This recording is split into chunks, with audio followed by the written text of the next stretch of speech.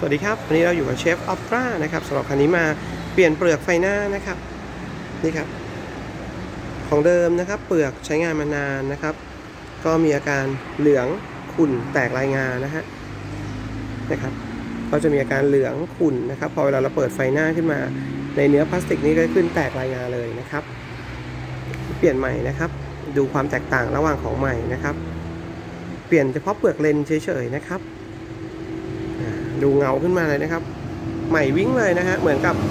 รถเพิ่งรับป้ายแดงมาจากศูนย์เลยนะครับ สังเกตดีๆนะครับว่าใหม่จริงๆครับ แตกต่างกันโดยสิ้นเชิงเลยนะฮะ เหลืองกับใสนะครับ นี่ครับ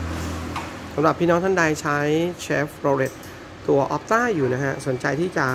เปลี่ยนเปลือกไฟหน้านะครับ หรือที่เรียกว่าเลนไฟหน้า หรือเปลือกเลนไฟหน้านะครับแล้วแต่คนจะเรียกนะฮะ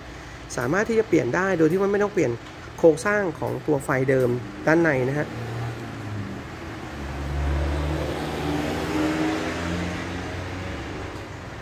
เปลี่ยนออกมาแล้วสวยงามเหมือนรถป้ายแดงเลยนะครับ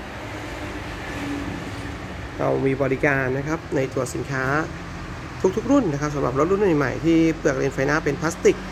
นะครับพี่น้องท่านใดสนใจสอบถามเพิ่มเติมในช่องทาง YouTube หรือที่ Facebook Fanpage แต่งรถน้าแดมเพชรบูรณ์นะครับ โทรได้ที่เบอร์ 0819537181 ครับ คลิปนี้ลาไปก่อนนะครับ สวัสดีครับ